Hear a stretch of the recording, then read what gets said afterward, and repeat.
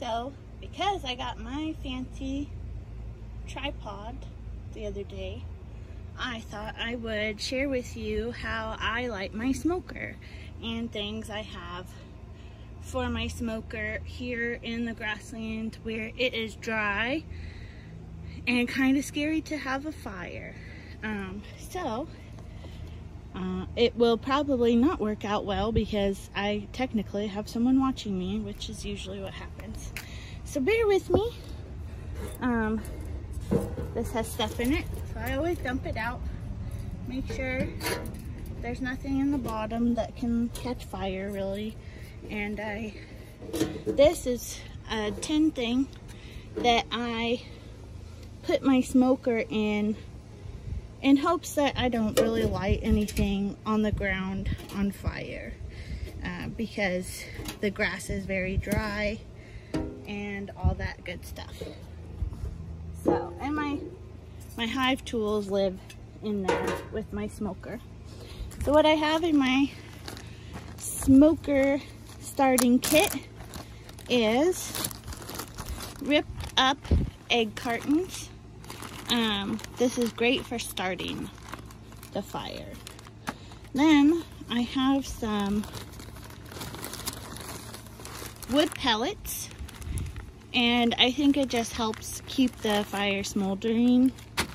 And then I have pine shavings, which I always have a ton of because I have rabbits and ducks and quail and chickens and I use this in all of their houses. Um, this is important. It is a, a long neck lighter thingy. Um, it works great for getting down into the smoker and lighting it at the bottom.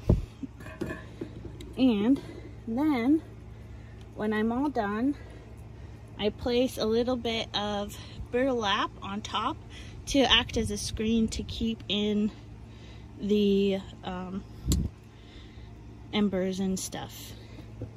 So, we'll start. And in the bottom of the smoker is a little tray and that needs to be feet down to create an air gap for air to keep the fire going. And good, you can see everything. So first, start with a bit of egg carton and I kind of crumple it a little bit and I throw it in the bottom I get in there and try to light it real well.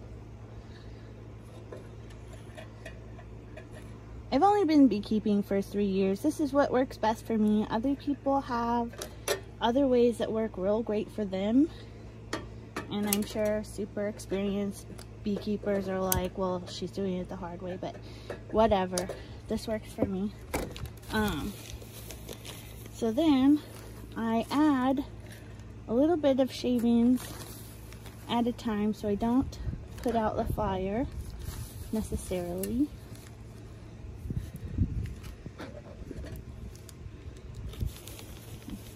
And this is always kind of scary because because it's so dry here, I mean, there's wildfires going on. Um, not too far from me, but I don't like to risk anything with the bees. I like them to stay calm. And I bring a bucket of water with me in case anything crazy happens. See that really nice white smoke? Is actually going better so far than usual, but don't tell anybody. Um,